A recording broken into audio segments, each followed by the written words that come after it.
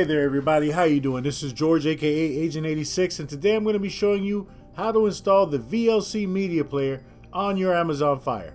The first thing you're going to need is the downloader application. If you don't have the downloader application in the top left corner, click the little loop and search the word downloader.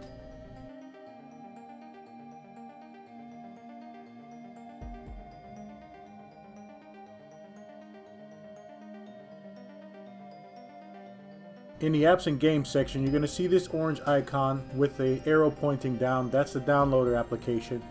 Click right there and you're going to get this page. And simply click get for it to start downloading the application. It should take around 20 or 30 seconds for the application to download. And this is the first step that you're going to need to do to go ahead and install the Avenger Store on the Amazon Fire TV. Go ahead and open the application. Alright, so inside the downloader, you're simply going to type in this URL, avengerelectronics.com slash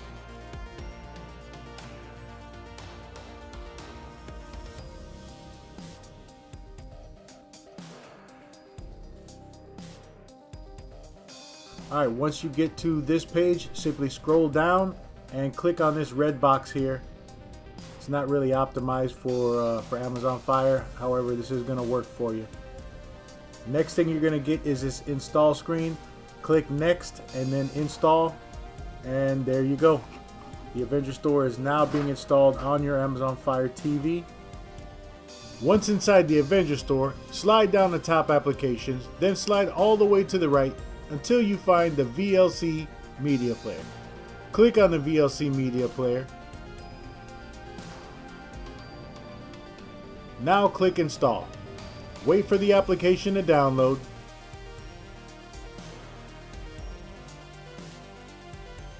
Now slide down and click install.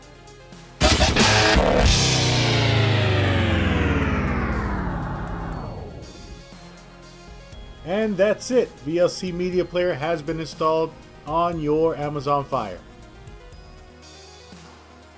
Don't forget to check out AvengerElectronics.com for more great apps as well as the best hardware in the industry.